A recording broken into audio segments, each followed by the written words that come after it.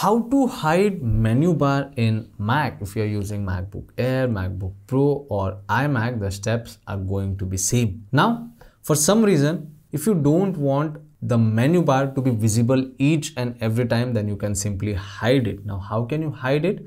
For that all you need to go in system settings. So you can find system settings in dock or else you can go and select Apple logo and then you can select system settings. Now once you select system settings all you need to do is you need to go in control center and on the right hand side you get multiple options over here. So you can just simply go at the bottom and look for automatically hide and show the menu bar. Now the current option which is selected is never. So if you select this drop down you get multiple option. Uh, now you can see menu bar is visible and if i select always it, it means menu bar, uh, menu bar will be hidden always until and unless i want to see it. So if i select always you can see the menu bar has gone. Now, if you want to see menu bar, all you need to do is you need to point your cursor at the top like this and then you can see I'm able to see the menu bar. But as soon as I remove the cursor from there, now menu bar has disappeared.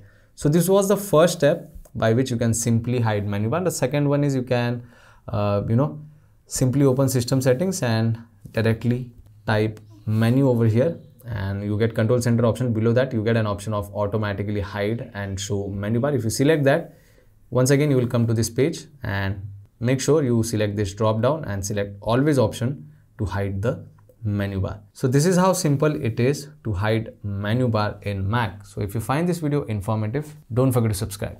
I will see you all in the next one. Thank you